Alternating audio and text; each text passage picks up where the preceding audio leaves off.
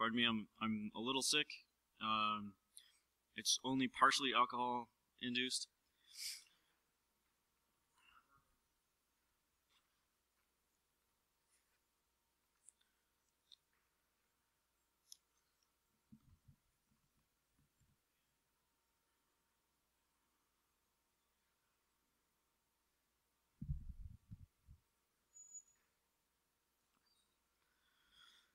So, for those of you who don't know me, I'm Egypt. Uh, I'm not the country. Um, uh, I I have a beard, but I've never used it to overthrow a country. I work on the Metasploit project, which, if you're at all familiar with, you know the coolness of it um, begins with shells. Um, I love shells, and there are a lot of reasons why Metasploit is cool. The reason I started using Metasploit is for the shells. Um, it's also the reason I started contributing to Metasploit because I wanted to get shells that it didn't already know how to get. So I first started in 2008 contributing code back to the project, uh, and I started using it for work, and I started contributing code. I ended up getting commit access uh, through HD um, and uh, some lucky turns of events. Um, but it's still really all about the shells. And the second major reason I really like the framework is that it's all open source. It's a large open source community, and the community is what makes Metasploit great. Because a lot of people work on it, we get a lot of cool code from a lot of cool people. Uh, we get submissions for things that I never would have thought of. And we get techniques that just come out of nowhere from somebody who thought, hey, this is a cool idea, I'll write it for Metasploit.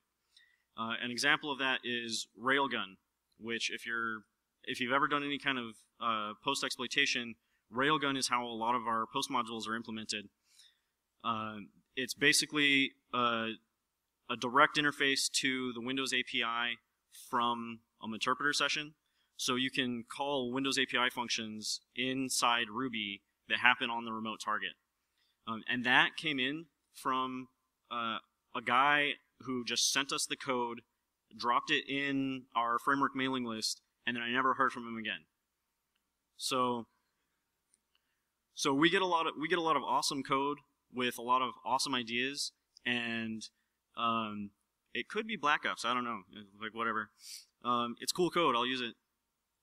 Um, because it's BSD licensed, you can use it for whatever you want. You can you can modify it, you can change it, you can distribute it, um, you can obfuscate it and sell it as something else. Um, take our name on it, off it if you do that. Uh, there's uh, we we might get angry if you start selling it, and and we'll we'll have we'll have words, but um, it is BSD licensed, so most things are completely legit.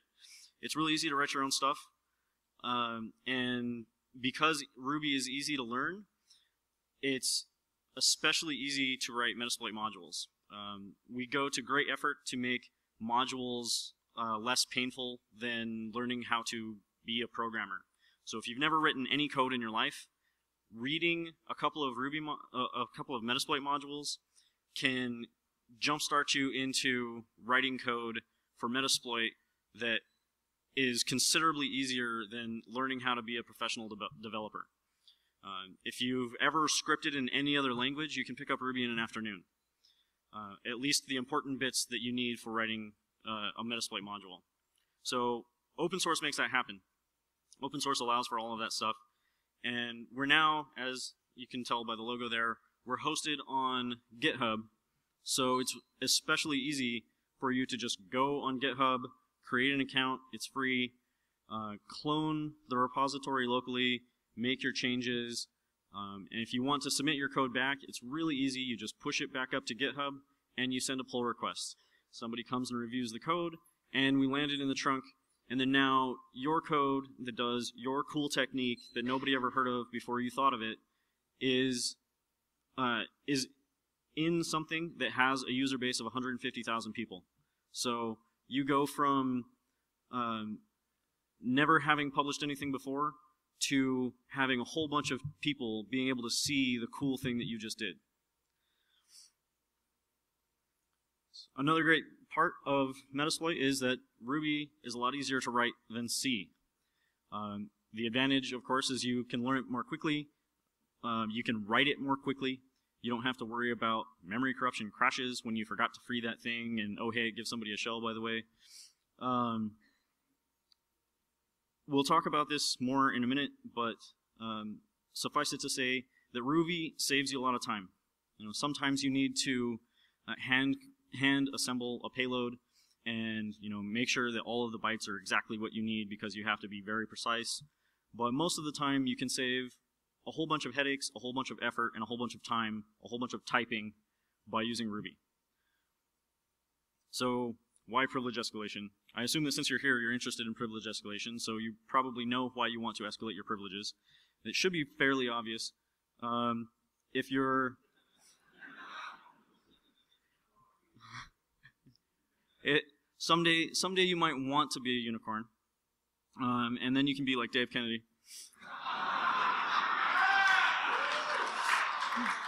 Thank you.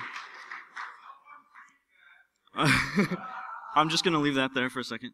Uh, so, I'll give you another shot. There you go.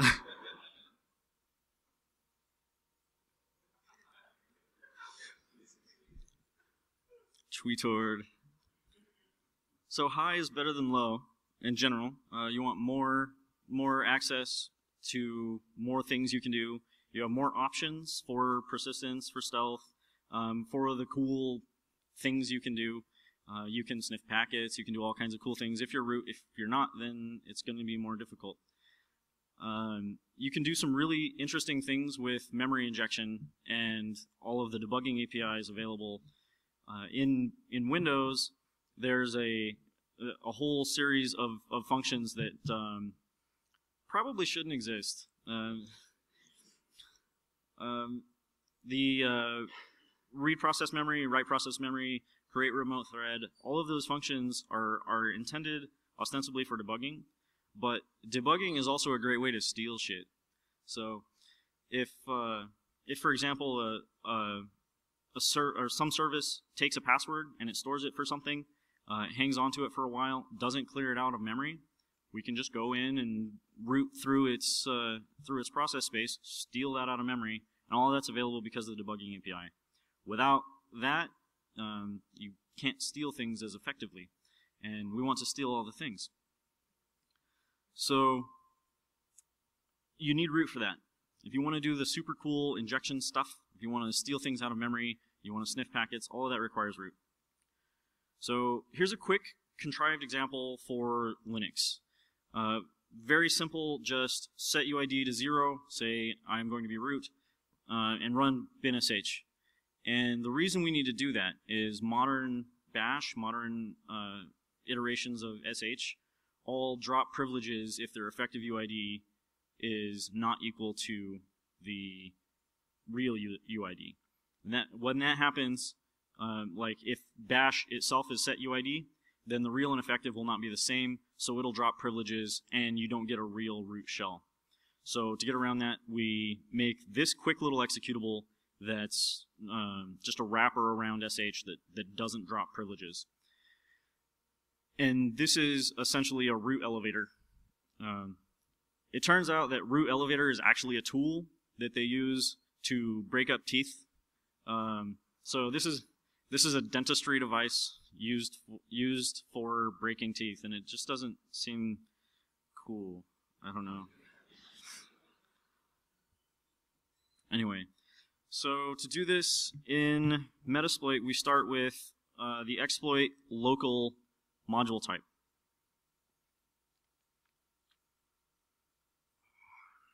And that's uh, a relatively new fleshed out module type, but it's really been around since the beginning. Exploit remote is the one that everybody uses, and we've got you know almost nine or almost a thousand modules uh, that are exploit remote. Um, exploit local has always existed, but it didn't really have any sort of functionality.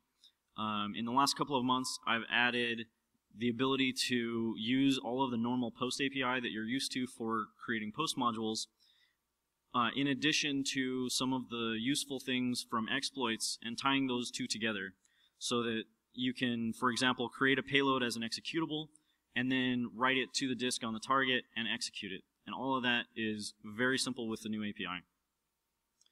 Um, the exploit mixins provide um, a payload and a handler, and so the you get all of the same normal console options that you're expecting as a user. You can you set your payload to you know Windows, interpreter, reverse, TCP. It's all the same stuff, and it sets up the handler for you automatically. So if you're familiar with some of the post modules that previously implemented some of this functionality, like persistence um, is still around. Um, eventually, that'll get all of the the post modules that uh, take a payload will get um, mod will get migrated into new local exploits. But if you're familiar with how the post modules work, they have sort of a kludgy way of dealing with payloads, where the module itself um, builds its own payload and then converts it to whatever format you need. With exploits, it's a lot simpler because that functionality is already built into how exploits work. So it's just a few API API calls instead of um, dealing with building your own payload and all of the itinerant crap that has to go along with that and setting up payload options and everything. So you can include um, exploit mixins and post mixins, which also gives you the ability to, to for example, modify the registry, um, write files, read files, uh, in, an, in a platform agnostic way for the most part. So obviously, registry manipulation only works on Windows, but the write file API, uh, write file, read file, append file, um, download, upload, both all of those things are platform indep- platform independent and should work basically everywhere. Uh, with a couple of caveats, shell sessions on Windows typically are not binary safe because CMD really, really sucks. So here's for, for our previous uh, contrived ex example, this is our contrived exploit. So I just talked about the uh, exploit mixins uh, and the post mixins. So we include the things we need. We set up a platform to be Linux uh, and an architecture to be x86.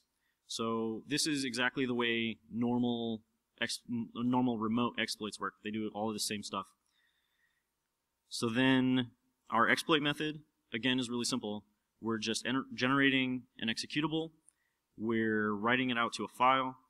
We're marking it executable, and we run it with tempsh, which is that uh, setuid wrapper that we have around bash.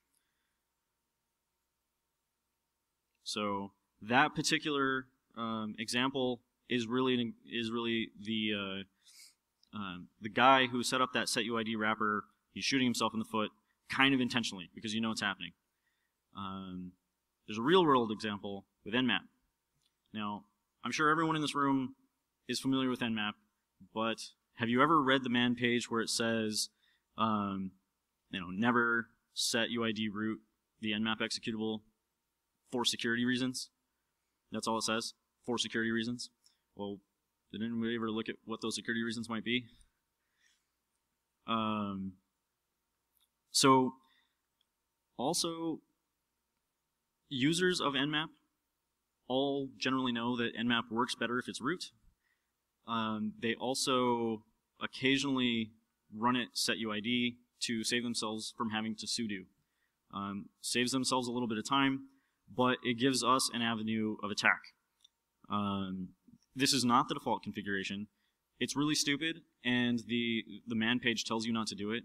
And as a result of finding this, well, a friend told me, "Hey, I found setuid nmap on a couple of boxes, and hey, it's awesome." Um, I looked into why that might be stupid, and it turns out that you can have uh, Lua scripts for the Nmap scripting en engine. NSE is super awesome. If you want to do any kind of um, uh, advanced scanning for higher level protocols, uh, you, you know you want to dig into this XML piece of blob that came out of this thing that's on an HTTP server. Um, Lua makes that really easy in Nmap. So if you're interested in in uh, fingerprinting and potentially pulling out really cool data from uh, some network service. Uh, NSE gives you a quick way to do that. Um, but for our purposes, um, it also allows us to run Lua code as root. Um, it has a specific structure, so we need to take that into account when we're writing the exploit. Um, so it's got to have the an action function. It's got to have a uh, pre-scan, a post-scan, a couple of other attributes. So it's got this structure. So when we're writing our exploit, we have to take that into account. But it turns out it doesn't actually care. It will evaluate it anyway, um, even if it doesn't, even if it doesn't match the structure. It'll evaluate it, find out that it's not valid for its regular structure, and then just you know discard what it did. And in this case, what it did was os.execute cmd. And cmd is the uh, payload we created. So from Metasploit, we can write the um, uh, NSE file out onto the target, run nmap with dash dash script, and give it a, a, a path to that file. And in older versions, the uh, in the five dot something days, the um, the scan wouldn't look at your script unless you actually had a host for it to scan. On six, it will. So if you if you don't give it a host, it'll still run the the NSE. Um, on older versions, it doesn't do that. So to force it to read that script, we give it a host of colon colon one just because it's short. Um, on in the real module, it actually uses 127.0.0 at one, but it didn't fit on the slide, so there you go. So here's a quick demo. Should be very simple. Hopefully it, it uh, hopefully it'll play. There we go. Okay, so just like running any other module in the framework, you've get you've got your options. Uh, for exploits, you also have a payload. Um, like a post module, you also have session, the session option, and that will be the session you want to uh, exploit with this module. Uh, so you can see in this, when I run sessions the first time, I drop into the first session, I have UID 1000. You don't see anything. Well, it's awesome. Can can we make that go over there? Can we go over there? Maybe?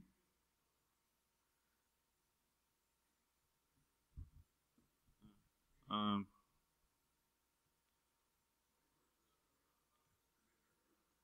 well, hey, something's happening. Something, eh? And go. Huh? Aw. Okay. Zoom? Sure. Maybe. Oh, hey. Okay.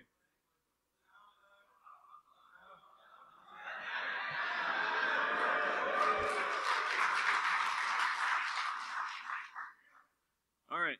So, I'm going to do this backwards. All right, so the first first session here is UID 0001.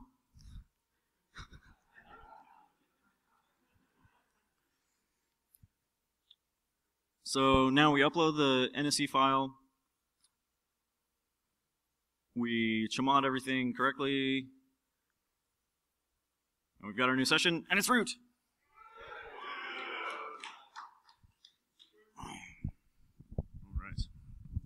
And who doesn't love root shells?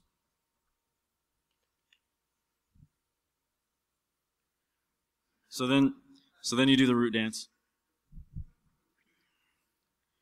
Um, the Skelevator bug, there was a there was a zero day in uh, that was used by Stuxnet.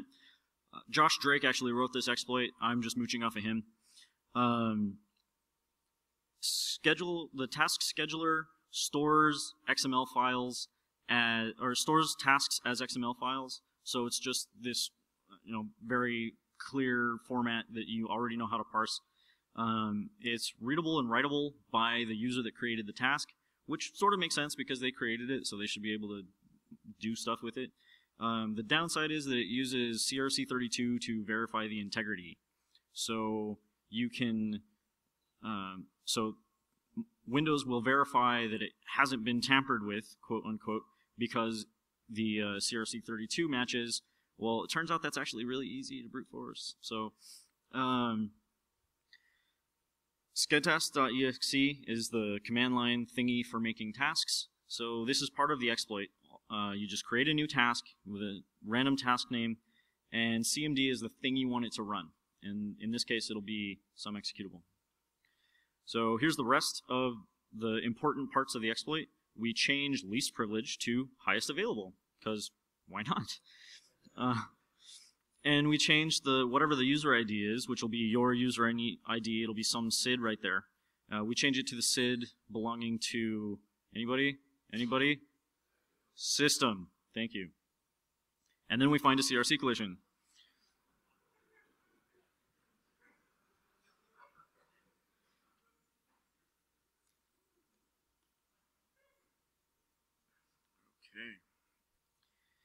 And once we've got a CRC collision, then we can write that file back, and Windows thinks that everything is perfectly legit. So the, the CRC matches, um, this must be a perfectly good task, so I will run it. And oh hey, it wants to run a system, sure, and it wants to run this command, alright. And then you do the root dance. So remember how I said Ruby is better than C? Most of the time that's true, except when it isn't. Um, a lot of times, like things like that, you can just write out a file and, and tell something to run it, and it runs it as root for you, and you just win. That's awesome, but it doesn't always happen that way. So sometimes we need to compile. And Metasm is the Ruby way to do that. Metasm is an amazing project um, by a guy named, I'll just go with JJ because I can't even begin to pronounce his name. Um, it's a completely pure Ruby compiler and assembler for x86. Uh, for it'll compile C for x86 and x86 64, and it will assemble uh, assembly language for a whole bunch of stuff.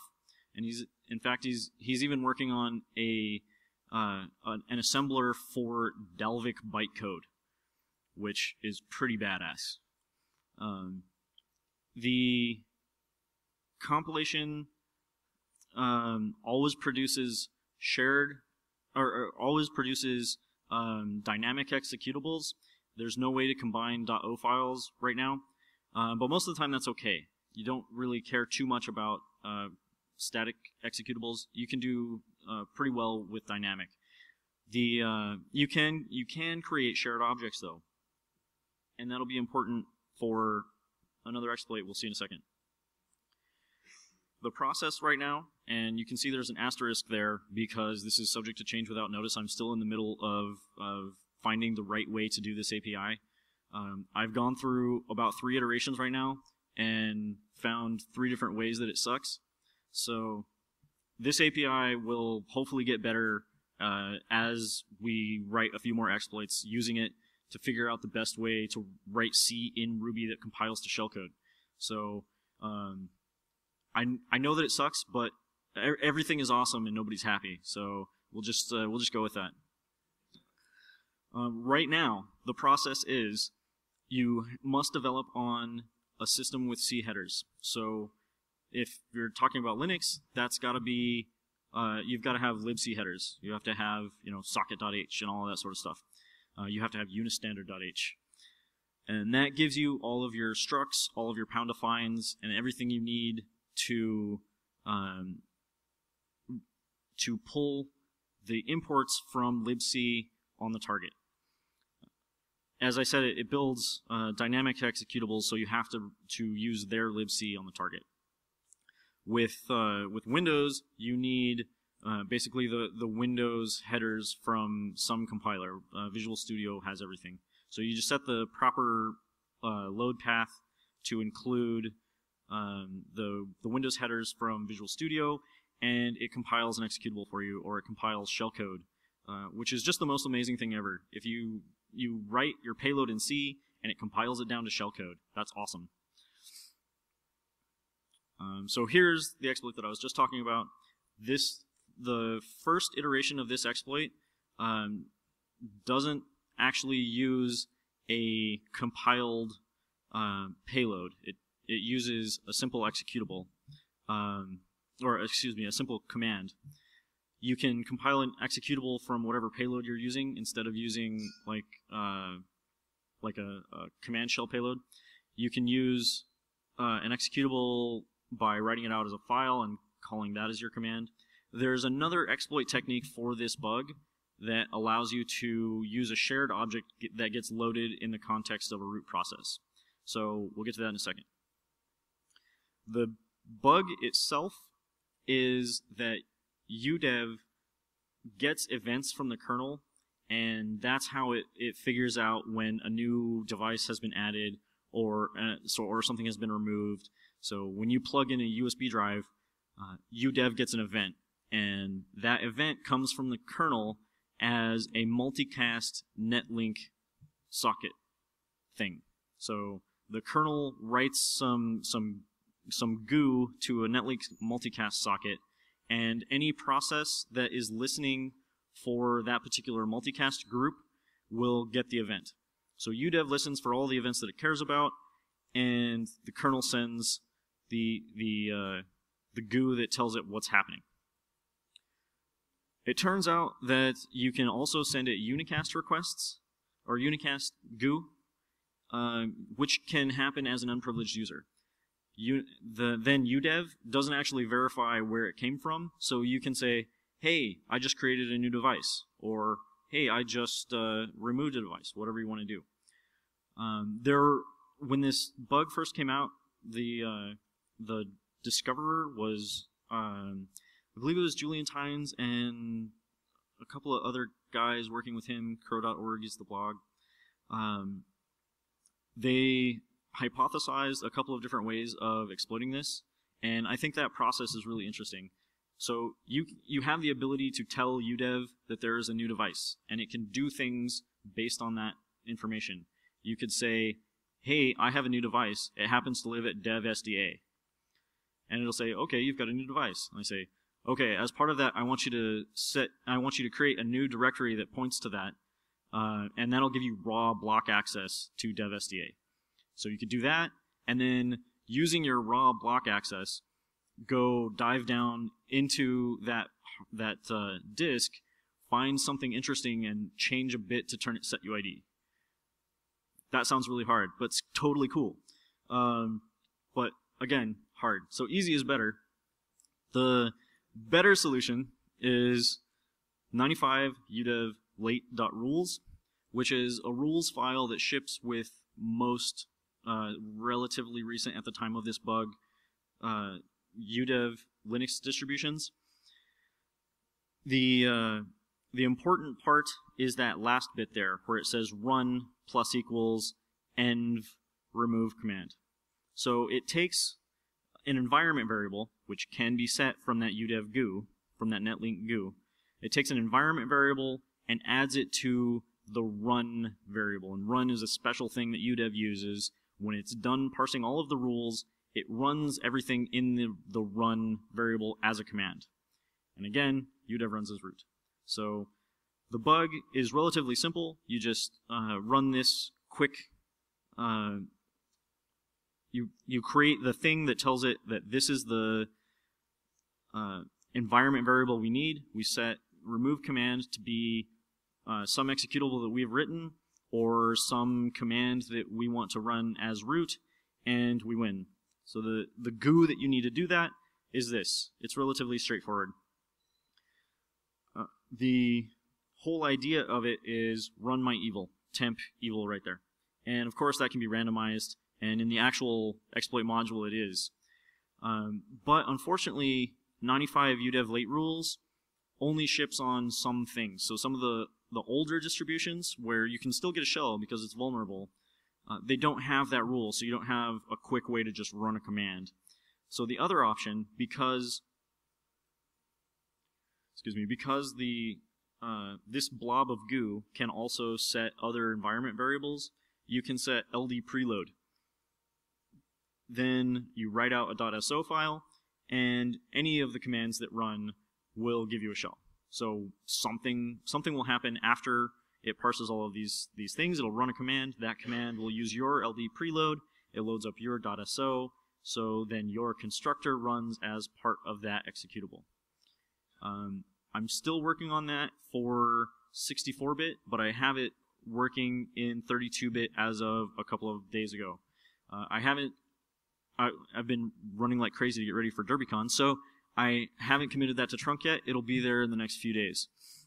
Um, so the cool thing about that is this is all you need to compile C. C parser is again one of those things that might change uh, at a moment's notice when I decide that the API sucks. cparser.parse takes main here as a variable, and main.c is just something to call it so that it will give you proper uh, file name with a, a, line warning in case there's a syntax error or something along those lines. So main in this case is the C necessary to generate that goo we just looked at. Um, then we create a new compiler. We compile that down and parse it. Then we assemble what it parsed down to. Then once we've assembled everything, we encode it as a string. And in this case, it's encoded as an ELF file, so we can write it out as an executable. You can also write it out. You can also encode it as shellcode instead of an ELF, um, and it also has several other kinds of executables: aout, uh, cough, pe, a bunch of others. Um, but this is the entire process necessary for exploding, that bug once you've got the C necessary to create that goo. There's another step here for the LD preload version, and that's going to entail creating uh, a lib, like I said. So we, we do this same process, but for some uh, C code that runs our shellcode. The so we create a C wrapper that allocates memory, sets it to read, write, execute, puts the shellcode in there, and jumps to it. So a relatively simple shellcode harness uh, that you'll use a lot if you're developing uh, a payload. The same thing applies when you want to run it in a weird situation, like this, where we're in an, an ld preload.so file. So we just compile it down, we turn it into an SO, we write it up to the target, we run it using the udev exploit, and then we delete the whole thing when we're done. So something that was relatively complex, this is, I mean, it's a, a fairly simple bug, but requires a lot of steps. If there's no compiler on the target, and all you have is the existing C, you're kind of screwed. With the Metasploit module, you don't need to have the headers from the target because you can use local headers, uh, and the because of the way Metasm does its symbols, it is more portable than GCC. GCC uses versioned symbols so that uh, it doesn't have mismatches in, in API changes. They are very, very conservative in that. It's not necessary to be so conservative, especially when most of the time all you really need is going to be like mmap, uh, printf, uh, a few others that are important. Uh, whatever is required to uh, trigger your bug um, often you'll need the socket stuff, socket, bind, listen, accept, uh, connect. Those are generally all you'll need. Most of those can be proxied directly into syscalls, so in some cases we can just skip libc altogether. And then it doesn't matter how different your version of libc is versus the version on the target, um, whereas you'd be you'd be stuck if you had to compile it with GCC. So using Metasm, we can save ourselves some headache and potentially prevent ourselves from losing shells. So the next bug is sock send page. This one's interesting um, in a different way. We're still compiling C, but send page is a kernel bug. So it's a null dereference, and this is this is an awesome bug because it affects every kernel from uh, late 2001 to 2008. Uh, it's or almost 2009. So uh, sometime in 2009. So it's eight years of uh, eight years of kernels. Every single kernel is vulnerable to this bug.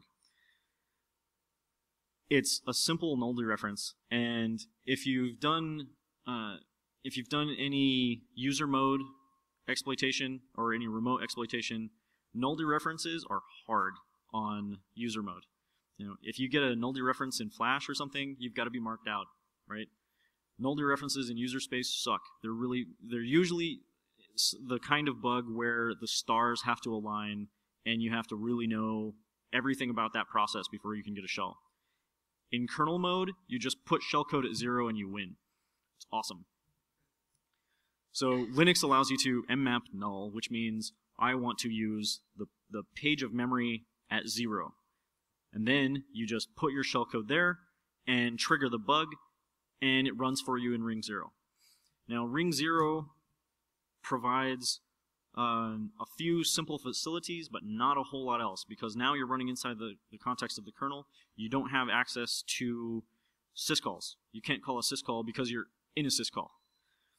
So there are more caveats involved with kernel payloads. We have to be really, really careful not to not to break because if you if you crash IE, for example, um, you know maybe you get a crash report, but nobody cries about it. If you if you crash in your payload in kernel mode, you get a panic. The whole box goes down. You get a blue screen, you get a panic, and that's never a good thing. Not only did you, by, by triggering a panic, not only did you just lose your shell, you also tipped off whoever's sitting there, or if it's like a production server or something, you just cost somebody money. Um, and when you cost people money, they usually don't want you to do very well. Just a tip.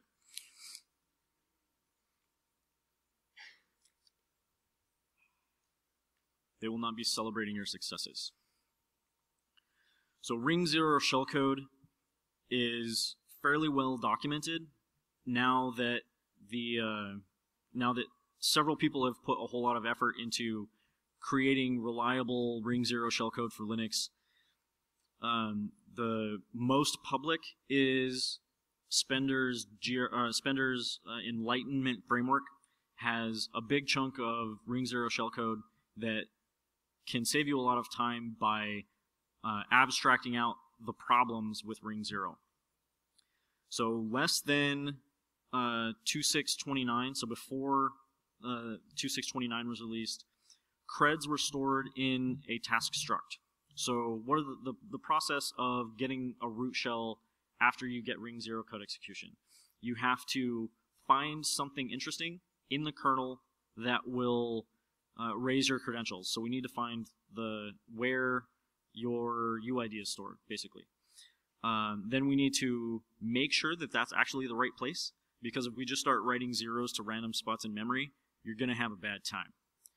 Um, so we need to find where our uh, we need to find where our, our process lives that stores the uh, the UID.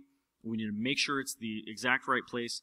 Fail gracefully. Just bail out uh, if you don't have the right place. It is much better to maintain a low privileged user shell and not crash anything than it is to cause a seg fault in kernel space. Please, please don't do that. Um, so then we need to change those bits and we need to get back into user space gracefully. In less in versions less than 2629, we can just scan for a thing that looks like a process, which will be um, a zero, which is your uh, your current runnable state, uh, and if if you are currently executing, then you must the only possible uh, state is runnable, which is zero. So you find a zero followed by your UID um, eight times. So that'll be your UID, your effective user ID, etc., etc., etc. Um, you're stored, you're saved, or you're saved, you're the others, a couple others. Then the GID after that. So those are known values, so it's really easy to fingerprint. You can get them in user space before you start. So you find your UID um, before you start the exploit, you trigger. So now you're running in ring zero. You find your zero followed by your user ID eight times. Then you change that user ID to zero eight times, and you return back to user space. Um, in some situations, that's not enough. Capabilities also can make your shell less useful. So the the capabilities come after your UID and GID, so you have to set all of those to ones. There's a lot of nuanced stuff with how capabilities work, um, but the general idea is if you just set them all to ones, you win. So let's do that. With kernels 2629 and after, um, all of that changed. So now instead of having your UID uh, in the same struct as your uh, process, your task struct, um, now they're their own separate structure, and you can't nearly as easily just grep through memory until you find the right thing. Fortunately for us, because this is now difficult for regular kernel developers, um, they have to have the same way to do this too, some way to do this too. Um, so the, the, the kernel exports two functions, prepare kernel cred and commit creds. The, uh, the simple way to get them is just ask uh, proc k allsyms, which is available most of the time. The only time it's not available is with hardened grsec kernels. Um, but in other situations, it's pretty much always available. So you can just pull out the symbols from there, find out the address of these functions, and call them just like the kernel would. So you create a root credential and commit creds, which stores them to your current process. So you just find these two functions, you call them, and you win. So we're going to try this one more time.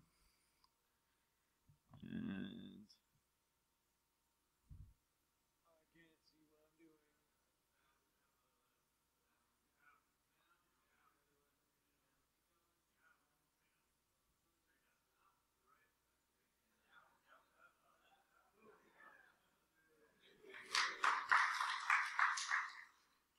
Nailed the dismount.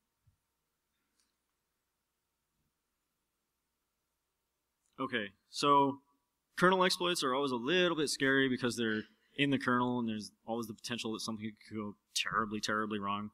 Um, so I made a video.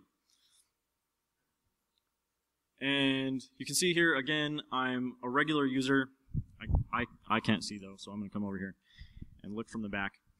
Um, you can see I'm a regular user uh, with a big UID much bigger than zero, which is a bummer. So let's fix that. Um, we set the session to the appropriate thing. Uh, then we compile all of the files that we need to produce this this binary. We push it up there, and we get root. Woot.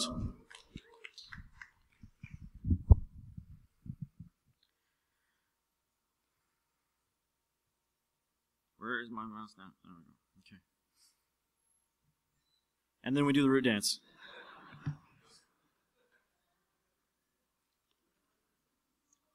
Carlton's my hero. And then, how much time do I have?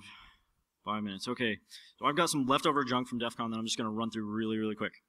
Uh, SMB Relay is old school. It's super cool. You, you'll get a lot of shells from it. Uh, this is how it works. Attacker, uh, a victim talks to attacker, attacker talks to a target. Um, target sends back a, a challenge. Uh, so we pass that on to the victim. The victim sends it back to the attacker. We relay that again to the target, and now we're logged into the target. So what does that mean? Now we've got credentials from the victim to the target, and we can do whatever the victim can do on that target. So SMB relay is a well-known attack. Um, MS 08068 fixed it for the simple case of reflecting directly back to the victim. Um, and so it basically fixed it for coffee shops and airports. But you can still relay, to this day, you can still relay to um, another server somewhere else on the network. And it'll probably be that way for a very long time. There's some mitigations that make it go away, um, such as mandatory signing on everything, makes it difficult. Um, but for the most part, it's going to be around for a long time quick little awesome sauce technique, um, mostly that I stole from Rubix. But um, an LNK file can have a uh, an icon. An LNK file can have an icon. It turns out a lot of things can too, um, but LNKs are especially easy to, to build and drop. So we create an LNK file we put it on a file server somewhere, like some Scratch file server that everybody logs into sometime. Eventually, someone will open up the folder containing that LNK file, which has an icon. That icon can be a UNC path. The UNC path points over to some compromised host that you're using um, to run SMB relay. So from that point, you don't actually have to compromise anything that a, a victim normally talks to. You can compromise some server that they never ever see and relay it over to another target, and you win. So all of this is possible because of automatic domain authentication. Uh, Windows stores creds in memory. Um, like you're probably already aware, Hashdump can pull them out, but you can also do other GUI things, um, and all of that happens transparently. So you open up a, a file share that your user has access to. Uh, all of that happens transparently. The reason for that is automatic domain authentication. So we can take advantage of that as well. If we're on a compromised machine and we're, we're our user has local admin on any other box, in most cases we can also create services on that box. Well, services can also be UNC paths. So again, we can fire, we don't have to have a file on that target. We can fire up a share on the compromised machine, uh, have the the victim that we want to shell on call back to us to get the executable, and now we uh, not only have we done essentially the same thing as PsExec, but we've done it internally through a pivot on a compromised machine. And the bigger advantage is we've reduced the forensics footprint now we only have our executable living on the, the one compromised machine that we started from. We don't have to actually upload it to the victim that we're trying to get a shell on. And since we don't have to do that upload, there's much less forensics uh, footprint going on on the network. Um, so we can do all the things. So that's a scanner now. Um, and, be, and all of that happens because of the uh, ability to open SC Manager, which is the, the services controller manager, manager uh, with a machine name. So you tell it, I want to open that box's um, service manager. And Windows will let you do that if you have local admin on that target machine. Again, all of this happens transparently. So if you're a user running as, um, so my, my interpreter shell is running as your user, your user has local admin over there, I can open that and create services. I don't need a password. I don't need a hash. I just win. Um, binary name again can be a UNC path. Uh, I think I'm going to skip the demo because I'm out of time. I want to for for the future. I want to be able to compile shellcode, push it up to memory, and run all of this stuff in memory. Um, that's going to be a little bit easier in Windows because Windows already has stuff for the get system command that uh, Stephen Fewer added uh, about a year ago maybe a year and a half ago now. Uh, so there's already some stuff for compiling the shell, or so there's some stuff for running shellcode inside uh, a interpreter process. I want to also do that um, as, as, transparently as possible for Linux as well. Um, then we do the root dance. Um, I want to take everything that's in post, uh, all the all of the architectures, all the platforms escalate. I want to take all of those uh, privilege escalation. They're essentially exploits. I want to move them into to exploits and make them real local exploits, so they have all those same payload handlers and everything. Uh, I want to take some of the code in the the small handful of compiled C exploits, pull that up into mixins, so that you don't have to deal with any of that library stuff. So writing a kernel exploit is just triggering it, and that's my plan. Um, it may take me a while. Uh, and I would love to have some help with that if any of you are interested in working on it. So shells are awesome, root shells are better, Metasploit is awesome, um, and it gives you more stuff. Um, and these are a couple of random images that came from my Google searching while trying to find funny things. So, any questions? Robot monsters. Animo disco. No questions? Feel free to hit me up on email or Twitter. I'm always in pound Metasploit on Freenode. And also, one last image. Um, just it turns out when you Google getting higher privileges, um, there, there's a movie called Pot Zombies, and it, I don't know. I mean, What?